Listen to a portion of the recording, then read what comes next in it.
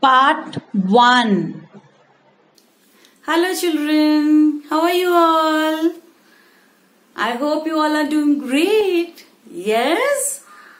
And I hope you're enjoying all the activities, whatever I'm telling. And I hope you must have even done the science experiment which I have given you. Yes? If you've not run, you can still try. Okay?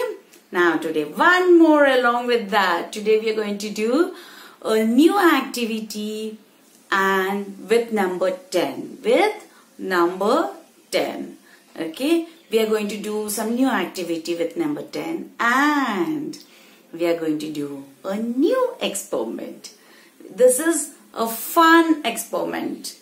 You know, for that, what you need to do is uh, you need a balloon. It's a balloon. It's a balloon experiment. Okay, I'm going to do it with a balloon. Okay, uh, you need to make a car.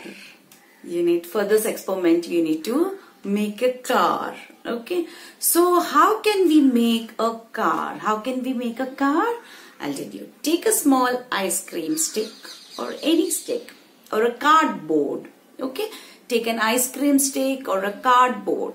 Little long till this much okay? And what you're going to do is we have bottles. Yes do we ha we have bottles. So we will take four bottle caps. We will take four bottle caps. Yeah and we will make holes in between. One hole for each bottle cap. One hole for each bottle cap in the center. Okay so now four bottle caps means four wheels are ready for the car. Your um, cardboard, small cardboard or ice cream stick is your car body.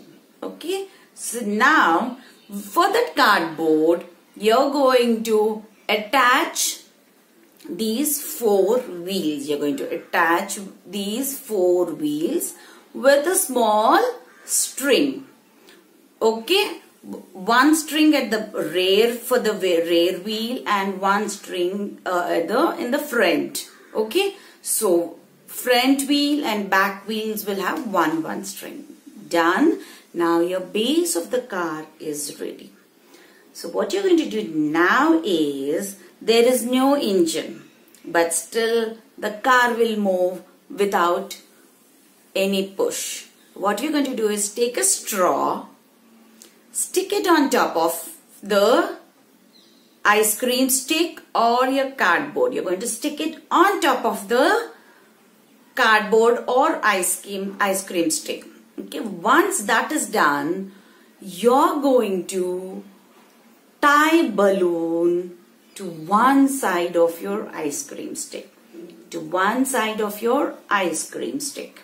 You're going to tie balloon. So that and you need to tie it very carefully that they should when you blow the balloon air should not come out. The balloon uh, should stay the way it is when you when it is fully blown.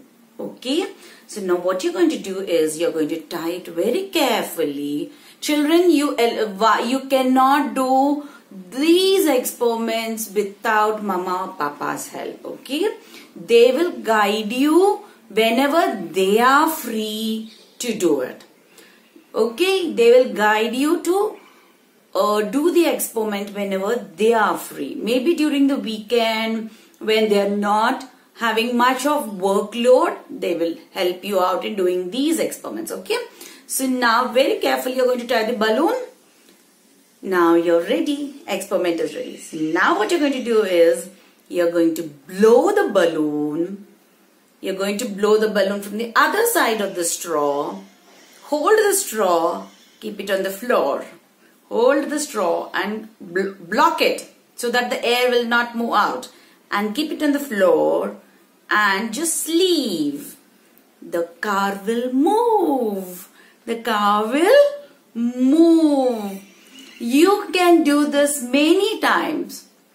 You can do this many times. If you don't want to do all that um, um, with the ice cream stick and if you don't have all those things, you may be having cars at home which do not move on their own, which needs a push. Yes, which needs a push. So what you can do is you can blow the balloon, stick the balloon on the car and see how the car moves. Yes? So, I hope you will enjoy this experiment even.